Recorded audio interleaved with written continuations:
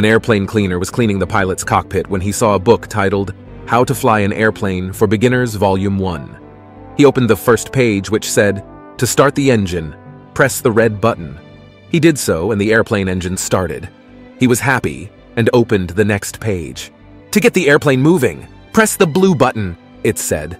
He did so, and the plane started moving at an amazing speed. He wanted to fly, so he opened the third page, which said, To make the airplane fly, please press the green button. He did so, and the plane started to fly.